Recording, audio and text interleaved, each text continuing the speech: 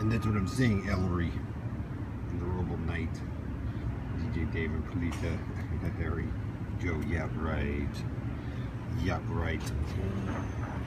Not in a million years at the group of you. Maybe for them, okay, but not you, Harry. Yeah, right.